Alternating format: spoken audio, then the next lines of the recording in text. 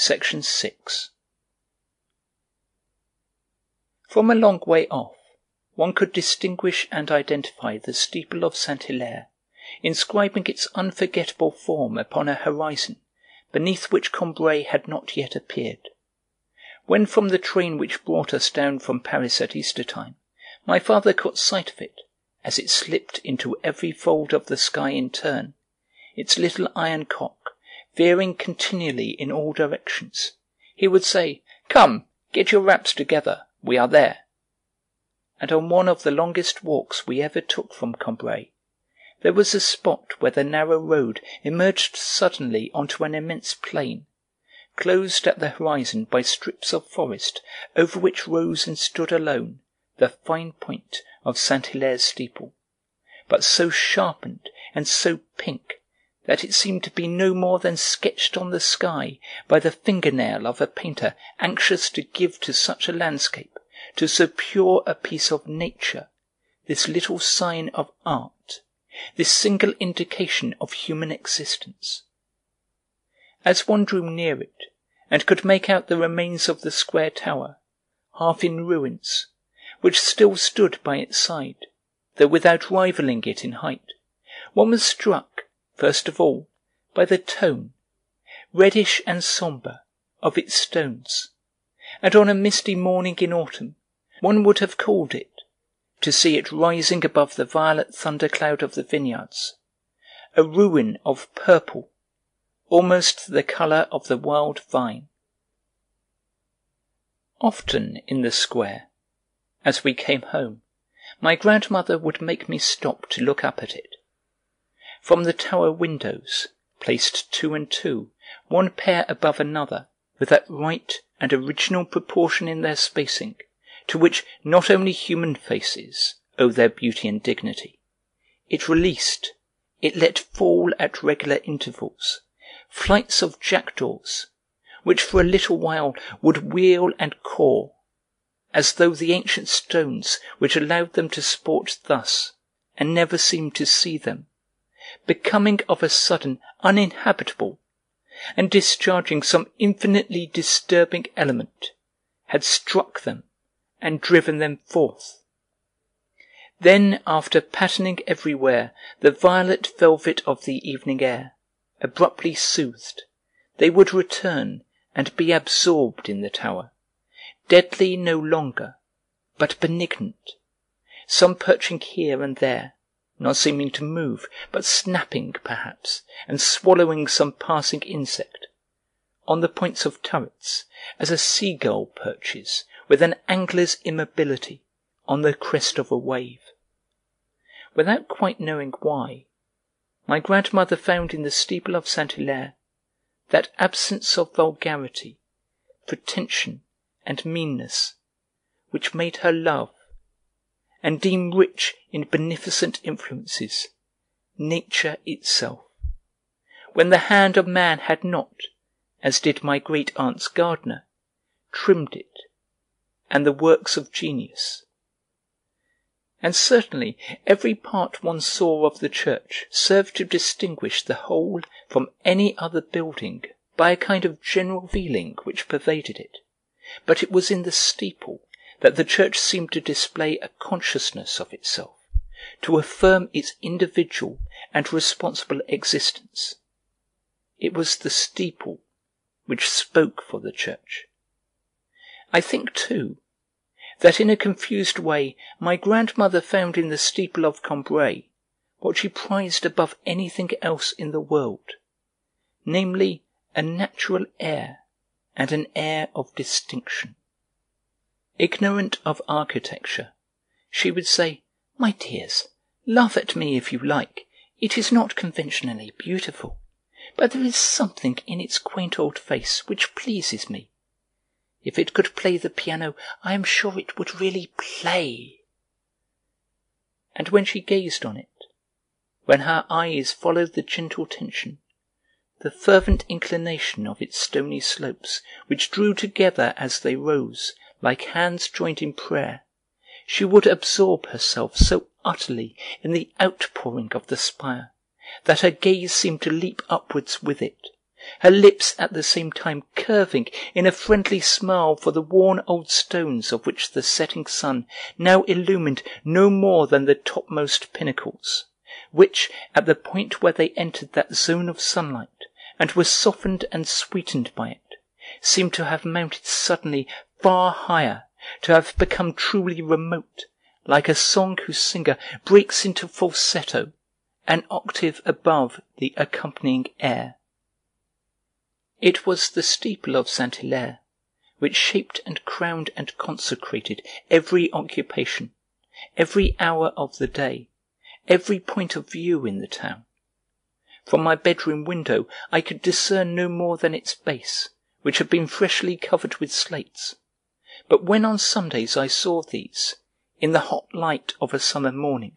blaze like a black sun,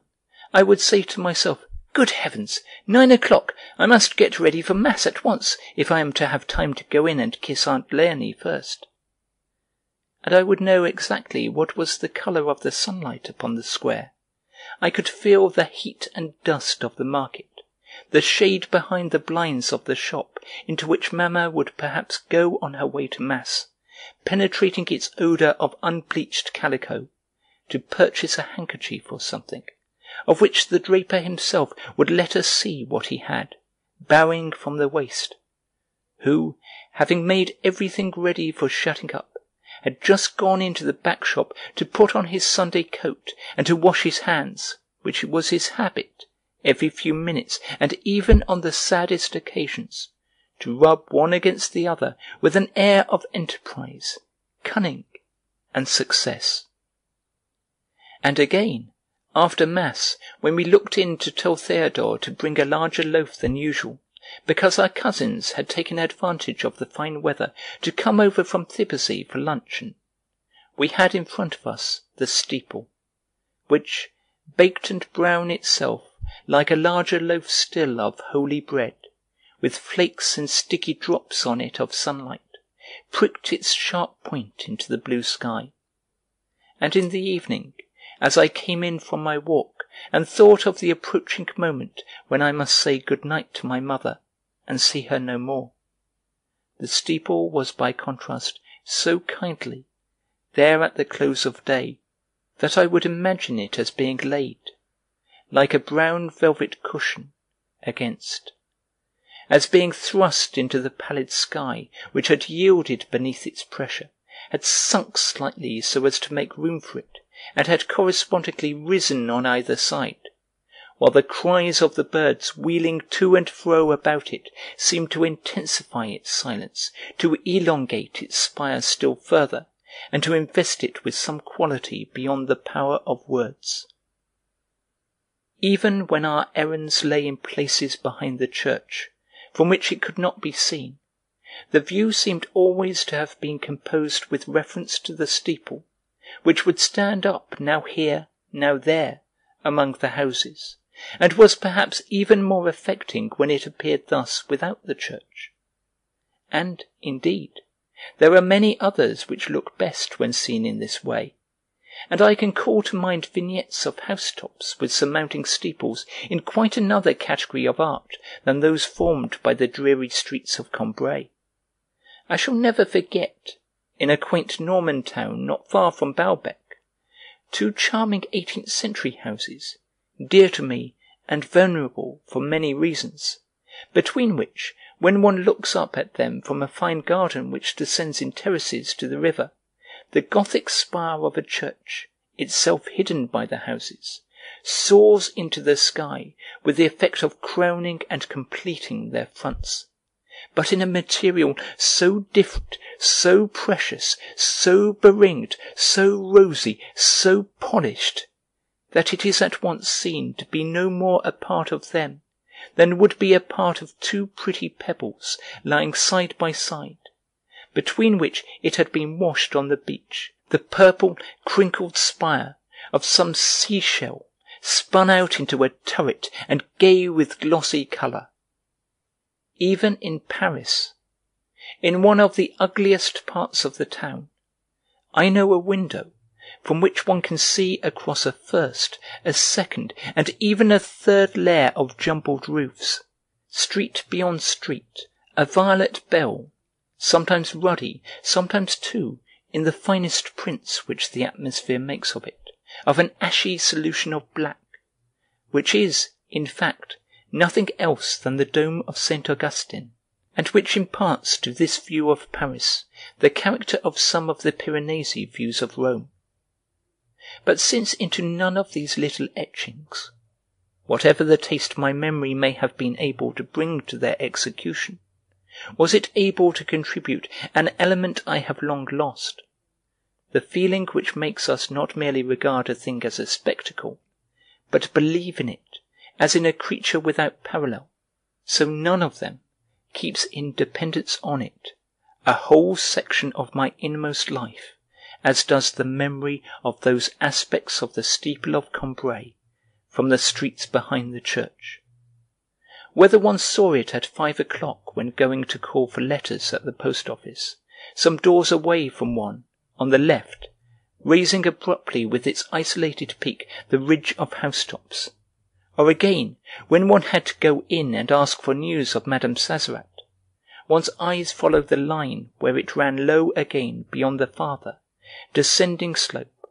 and one knew that it would be the second turning after the steeple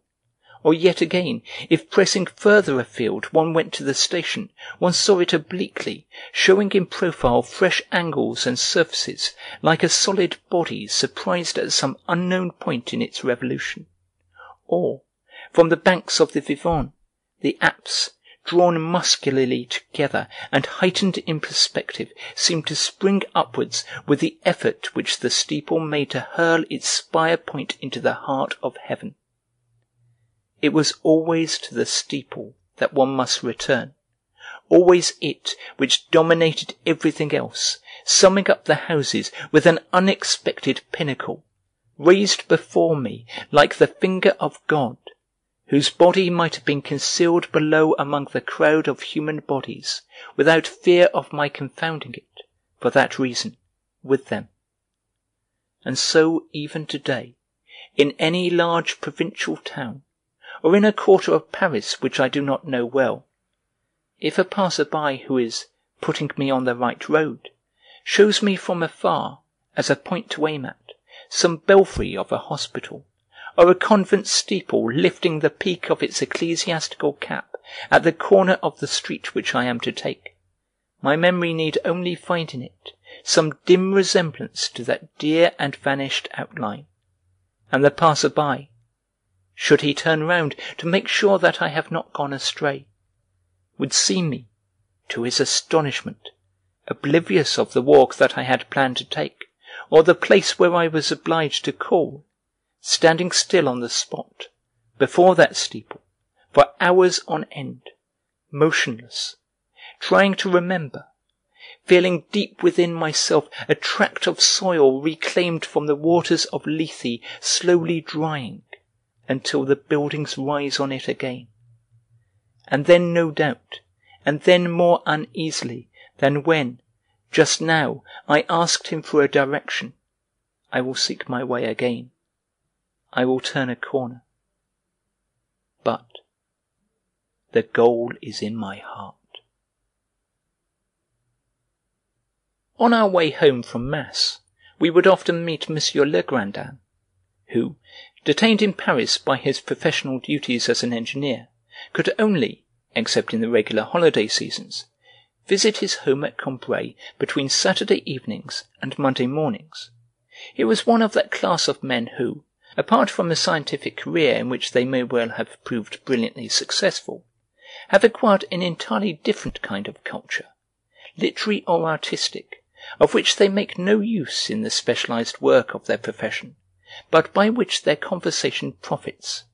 more literary than many men of letters. We were not aware at this period that M. Legrandin had a distinct reputation as a writer, and so were greatly astonished to find that a well-known composer had set some verses of his to music. Endowed with a greater ease in execution than many painters, they imagine that the life they are obliged to lead is not that for which they are really fitted and they bring to their regular occupations either a fantastic indifference or a sustained and lofty application, scornful, bitter, and conscientious. Tall, with a good figure, a fine, thoughtful face, drooping fair moustaches, a look of disillusionment in his blue eyes, an almost exaggerated refinement of courtesy. A talker such as we had never heard. He was in the sight of my family, who never ceased to quote him as an example, the very pattern of a gentleman, who took life in the noblest and most delicate manner. My grandmother alone found fault with him for speaking a little too well, a little too much like a book, for not using a vocabulary as natural as his loosely knotted Lavallière neckties, his short, straight, almost schoolboyish coat. She was astonished, too, at the furious invective which he was always launching at the aristocracy, at fashionable life, and snobbishness. Undoubtedly, he would say, the sin of which St. Paul is thinking when he speaks of the sin for which there is no forgiveness.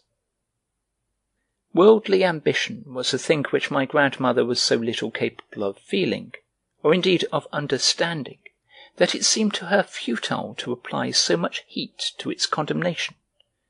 Besides, she thought it in not very good taste that M. Legrandin, whose sister was married to a country gentleman of Lower Normandy near Balbec, should deliver himself of such violent attacks upon the nobles, going so far as to blame the Revolution for not having guillotined them all. "Well met, my friends!"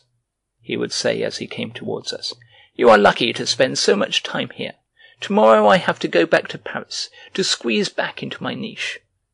Oh, I admit," he went on, with his own peculiar smile, gently ironical, disillusioned, and vague, "I have every useless thing in the world in my house there. The only thing wanting is the necessary thing, a great patch of open sky like this. Always try to keep a patch of sky above your life, little boy," he added, turning to me. "You have a soul in you of rare quality an artist's nature. Never let it starve for lack of what it needs." When, on our reaching the house, my aunt would send to ask us whether Madame Goupil had indeed arrived late for mass, not one of us could inform her. Instead we increased her anxiety by telling her that there was a painter at work in the church copying the window of Gilbert the Bad. Françoise was at once dispatched to the grocer's but returned empty handed, owing to the absence of Théodore, whose dual profession of choirman, with a part in the maintenance of the fabric, and of grocer's assistant, gave him not only relations with all sections of society, but an encyclopedic knowledge of their affairs. "Ah!" my aunt would sigh, "I wish it were time for Eulalie to come. She is really the only person who will be able to tell me." Eulalie was a limping energetic, deaf spinster who had retired after the death of Madame de la Bretonnerie, with whom she had been in service from her childhood, and had then taken a room beside the church, from which she would incessantly emerge, either to attend some service, or when there was no service, to say a prayer by herself, or to give Théodore a hand. The rest of her time she spent in visiting sick persons like my aunt Léonie to whom she would relate everything that had occurred at mass or vespers. She was not above adding occasional pocket money to the little income which was found for her by the family of her old employers, by going from time to time to look after the curé's linen, or that of some other person of note in the clerical world of Combray. Above a mantle of black cloth she wore a little white coif that seemed almost to attach her to some order and an infirmity of the skin had stained part of her cheeks and her crooked nose the bright red colour of balsam. Her visits were the one great distraction in the life of my aunt Léonie, who now saw hardly any one else, except the reverend curé. My aunt had by degrees erased every other visitor's name from her list, because they all committed the fatal error, in her eyes, of falling into one or other of the two categories of people she most detested. One group, the worse of the two, and the one of which she rid herself first, consisted of those who advised her not to take so much care of herself, and preached, even if only negatively, and with no outward signs beyond an occasional disapproving silence or doubting smile. The subversive doctrine that a sharp walk in the sun and a good red beefsteak would do her more good, her, who had had two dreadful sips of Vichy water on her stomach for fourteen hours, than all her medicine bottles and her bed. The other category was composed of people who appeared to believe that she was more seriously ill than she thought, in fact that she was as seriously ill as she said. And so none of those whom she had allowed upstairs to her room, after considerable hesitation and at Françoise's urgent request, and who in the course of their visit had shown how unworthy they were of the honour which had been done them by venturing a timid "Don't you think that if you were just to stir out a little on really fine days?" or who, on the other hand, when she said to them, "I am very low, very low, nearing the end, dear friends," had replied, "Ah, yes, when one has no strength left. Still, you may last a while yet." Each party alike might be certain that her doors would never open to them again. And if Françoise was amused by the look of consternation on my aunt's face whenever she saw, from her bed, any of these people in the Rue du Saint Esprit, who looked as if they were coming to see her, or heard her own door-bell ring, she would laugh far more heartily, as at a clever trick, at my aunt's devices, which never failed, for having them sent away, and at their look of discomfiture when they had to turn back without having seen her. And would be filled with secret admiration for her mistress, whom she felt to be superior to all these other people inasmuch as she could and did contrive not to see them. In short, my aunt stipulated, at one and the same time, that whoever came to see her must approve of her way of life, commiserate with her in her sufferings, and assure her of an ultimate recovery. In all this Eulalie excelled. My aunt might say to her twenty times in a minute, "The end is come at last, my poor Eulalie." Twenty times Eulalie would retort with, "Knowing your illness as you do, Madame Octave, you will live to be a hundred, as Madame Sazerin said to me only yesterday."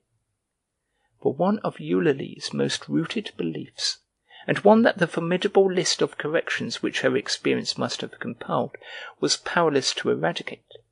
was that Madame Sazerat's name was really Madame Sazerin. "I do not ask to live to a hundred," my aunt would say, for she preferred to have no definite limit fixed to the number of her days. And since, besides this, Eulalie knew, as no one else knew, how to distract my aunt without tiring her, her visits, which took place regularly every Sunday, unless something unforeseen occurred to prevent them, were for my aunt a pleasure the prospect of which kept her on those days in a state of expectation, appetizing enough to begin with, but at once changing to the agony of a hunger too long unsatisfied if Eulalie were a minute late in coming; for, if unduly prolonged, the rapture of waiting for Eulalie became a torture, and my aunt would never cease from looking at the time, and yawning and complaining of each of her symptoms in turn. Eulalie's ring, if it sounded from the front door at the very end of the day, when she was no longer expecting it, would almost make her ill. For the fact was that on Sundays she thought of nothing else than this visit, and the moment that our luncheon was ended Françoise would become impatient for us to leave the dining room, so that she might go upstairs to occupy my aunt. But, and this more than ever from the day on which fine weather definitely set in at Combray, the proud hour of noon, descending from the steeple of Saint Hilaire which it blazoned for a moment with the twelve points of its sonorous crown, would long have echoed about our table, beside the holy bread, which too had come in, after church, in its familiar way and we would still be found seated in front of our Arabian Nights plates, weighed down by the heat of the day, and even more by our heavy meal; for upon the permanent foundation of eggs, cutlets, potatoes, preserves, and biscuits, whose appearance on the table she no longer announced to us, Françoise would add, as the labour of fields and orchards, the harvest of the tides, the luck of the markets, the kindness of neighbours, and her own genius might provide; and so effectively that our bill of fare, like the quatrefoils that were carved on the porches of cathedrals in the thirteenth century,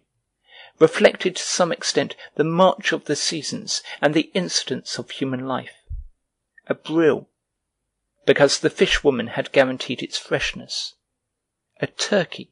because she had seen a beauty in the market at Roussainville le Pin; cardoons with marrow, because she had never done them for us in that way before; a roast leg of mutton, because the fresh air made one hungry and there would be plenty of time for it to settle down in the seven hours before dinner; spinach, by way of a change apricots because they were still hard to get, gooseberries because in another fortnight there would be none left, raspberries which M. Swann had brought specially, cherries, the first to come from the cherry tree, which had yielded none for the last two years, a cream cheese, of which in those days I was extremely fond, an almond cake because she had ordered one the evening before a fancy loaf because it was our turn to offer the holy bread. And when all these had been eaten, a work composed expressly for ourselves, but dedicated more particularly to my father, who had a fondness for such things, a cream of chocolate, inspired in the mind, created by the hand of Françoise, would be laid before us, light and fleeting as an occasional piece of music into which she had poured the whole of her talent. Any one who refused to partake of it, saying, "No, thank you, I have finished, I am not hungry," would at once have been lowered to the level of the Philistines who, when an artist makes them a present of one of his works, examine its weight and material, whereas what is of value is the creator's intention and his signature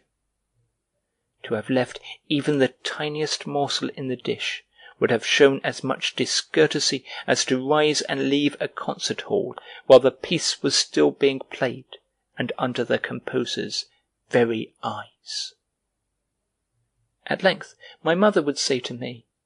"Now, don't stay here all day. You can go up to your room if you are too hot outside, but get a little fresh air first.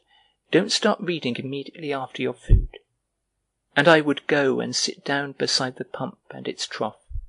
ornamented here and there like a Gothic font with a salamander, which modelled upon a background of crumbling stone the quick relief of its slender, allegorical body, on the bench without a back, in the shade of a lilac tree, in that little corner of the garden which communicated, by a service door, with the Rue du Saint Esprit, and from whose neglected soil rose, in two stages, an outcrop from the house itself, and apparently a separate building, my aunt's back kitchen. One could see its red tiled floor gleaming like porphyry. It seemed not so much the cave of Françoise as a little temple of Venus. It would be overflowing with the offerings of the milkman, the fruiterer, the greengrocer, come sometimes from distant villages to dedicate here the first fruits of their fields and its roof was always surmounted by the cooing of a dove. In earlier days I would not have lingered in the sacred grove which surrounded this temple, for, before going upstairs to read, I would steal into the little sitting room which my uncle Adolphe, a brother of my grandfather and an old soldier who had retired from the service as a major, used to occupy on the ground floor, a room which, even when its opened windows let in the heat, if not actually the rays of the sun which seldom penetrated so far, would never fail to emit that vague and yet fresh odour, suggesting at once an open air and an old-fashioned kind of existence, which sets and keeps the nostrils dreaming when one goes into a disused gun-room. but for some years now I had not gone into my uncle Adolphe's room, since he no longer came to Combray on account of a quarrel which had risen between him and my family, by my fault, and in the following circumstances. Once or twice every month, in Paris, I used to be sent to pay him a visit, as he was finishing his luncheon, wearing a plain alpaca coat, and waited upon by his servant in a working jacket of striped linen, purple and white. He would complain that I had not been to see him for a long time, that he was being neglected. He would offer me a marchpane or a tangerine, and we would cross a room in which no one ever sat whose fire was never lighted, whose walls were picked out with gilded mouldings, its ceiling painted blue in imitation of the sky, and its furniture upholstered in satin, as at my grandparents', only yellow. Then we would enter what he called his study, a room whose walls were hung with prints which showed, against a dark background, a plump and rosy goddess driving a car or standing upon a globe, or wearing a star on her brow. Pictures which were popular under the Second Empire, because there was thought to be something about them that suggested Pompeii, which were then generally despised, and which now people are beginning to collect again for one single and consistent reason, despite any others which they may advance, namely, that they suggest the Second Empire. And there I would stay with my uncle until his man came, with a message from the coachman, to ask him at what time he would like the carriage. My uncle would then be lost in meditation while his astonished servant stood there, not daring to disturb him by the least movement, wondering and waiting for his answer, which never varied; for in the end, after a supreme crisis of hesitation, my uncle would utter, infallibly, the words "A quarter past two,"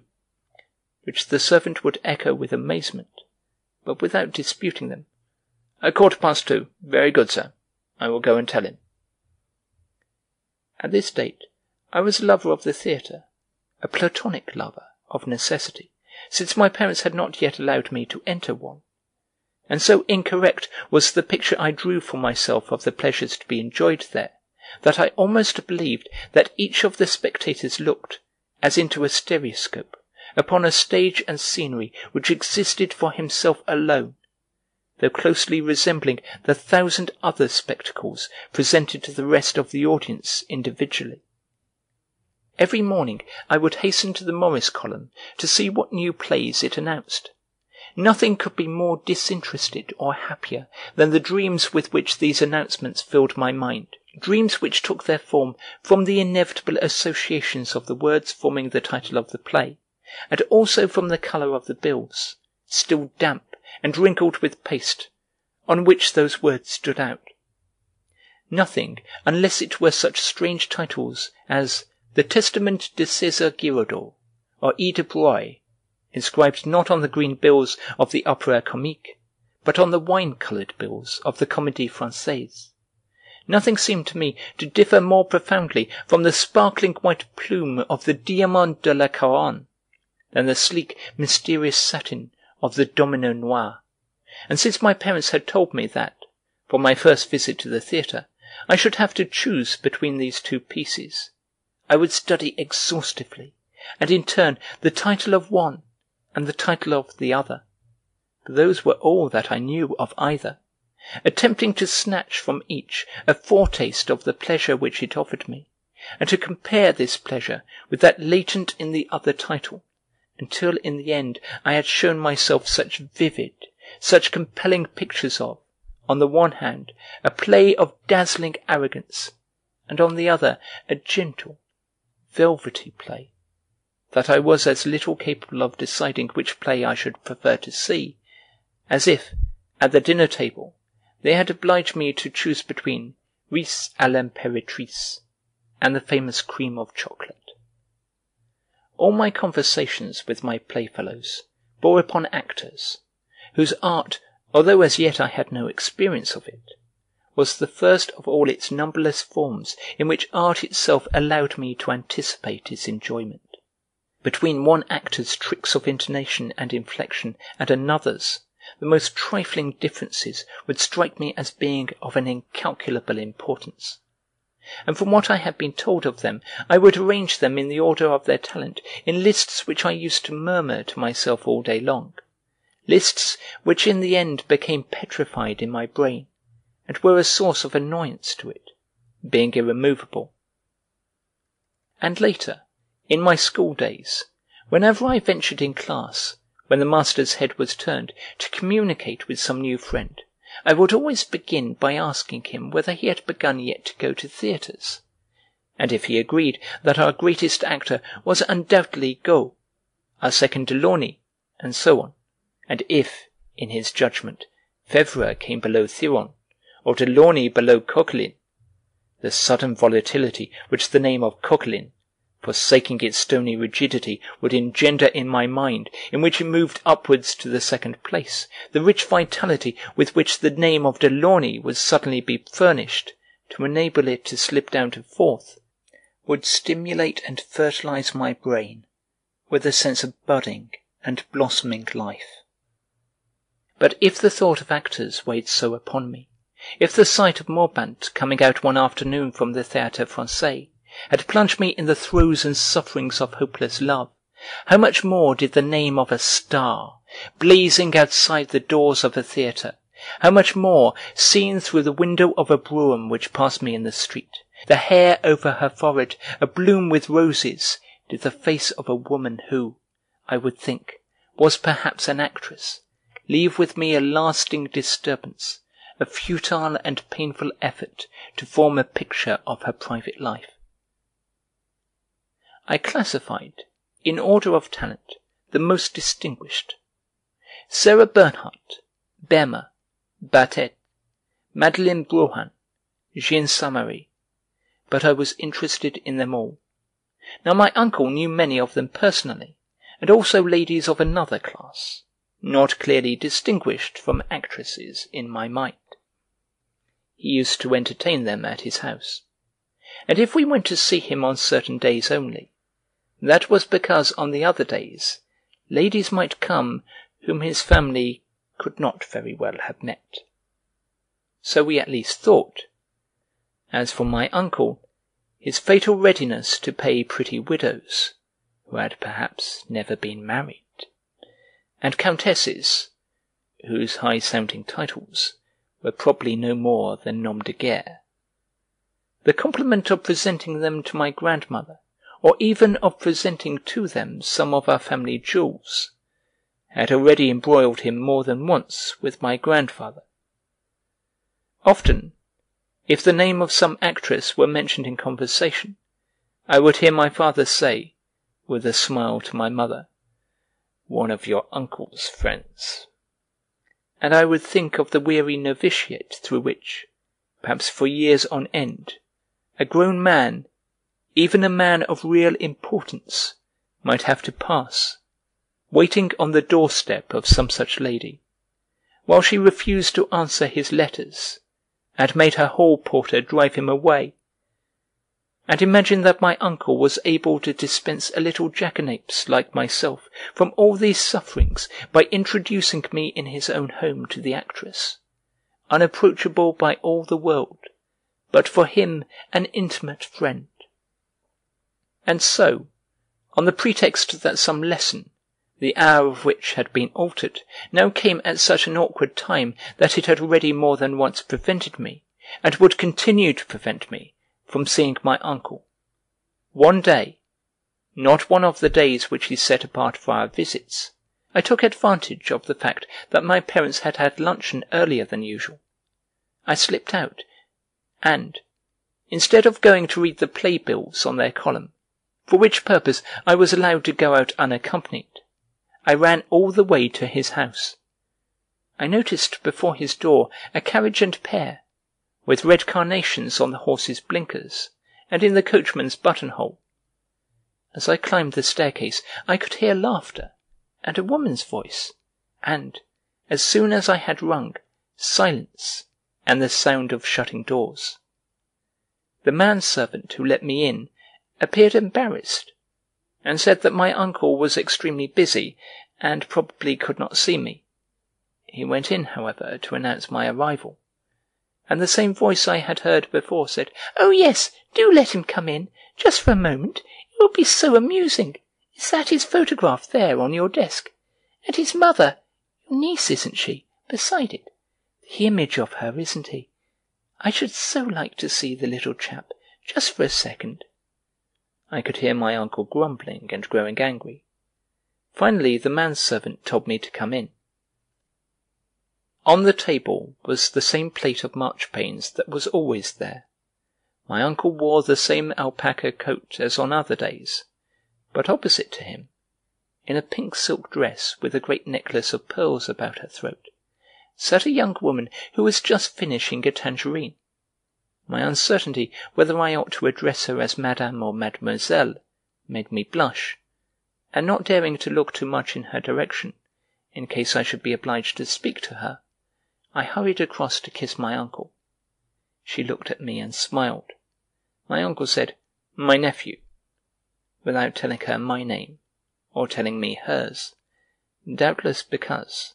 since his difficulties with my grandfather, he had endeavoured as far as possible to avoid any association of his family with this other class of acquaintance.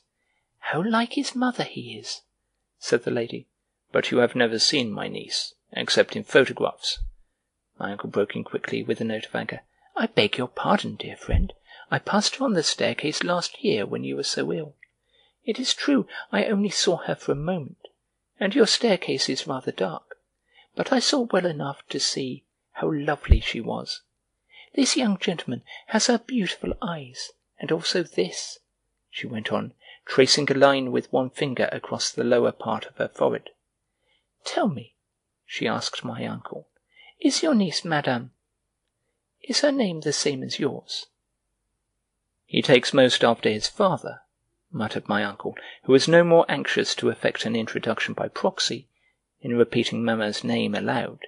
than to bring the two together in the flesh. "He's his father all over, and also like my poor mother." "I have not met his father, dear,"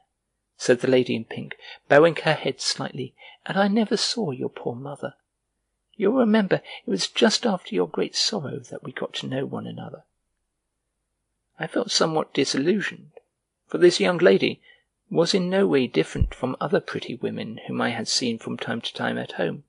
especially the daughter of one of our cousins, to whose house I went every New Year's Day, only better dressed. Otherwise my uncle's friend had the same quick and kindly glance, the same frank and friendly manner. I could find no trace in her of the theatrical appearance which I admired in photographs of actresses, nothing of the diabolical expression which would have been in keeping with the life she must lead. I had difficulty in believing that this was one of "those women," and certainly I should never have believed her one of the "smart ones," had I not seen the carriage and pair, the pink dress, the pearly necklace, had I not been aware, too that my uncle knew only the very best of them. But I asked myself how the millionaire who gave her her carriage and her flat and her jewels could find any pleasure in flinging his money away upon a woman who had so simple and respectable an appearance. And yet, when I thought of what her life must be like, its immorality disturbed me more, perhaps, than if it had stood before me in some concrete and recognizable form by its secrecy and invisibility, like the plot of a novel, the hidden truth of a scandal which had driven out of the home of her middle class parents and dedicated to the service of all mankind, which had brought to the flowering point of her beauty, had raised to fame or notoriety this woman, the play of whose features, the intonations of whose voice, like so many others I already knew, made me regard her, in spite of myself, as a young lady of good family, her who was no longer of a family at all. We had gone by this time into the study, and my uncle, who seemed a trifle embarrassed by my presence, offered her a cigarette. "No, thank you, dear friend," she said. "You know I only smoke the ones the Grand Duke sends me. I tell him that they make you jealous." and she drew from a case cigarettes covered with inscriptions in gold, in a foreign language. "Why, yes," she began again suddenly, "of course I have met this young man's father with you. Isn't he your nephew? How on earth could I have forgotten? He was so nice, so charming to me," she went on modestly and with feeling. But when I thought to myself what must actually have been the rude greeting, which, she made out, had been so charming, I, who knew my father's coldness and reserve, was shocked, as though at some indelicacy on his part, at the contrast between the excessive recognition bestowed on it and his never adequate geniality.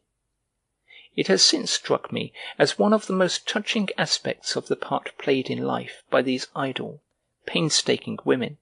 that they devote all their generosity, all their talent,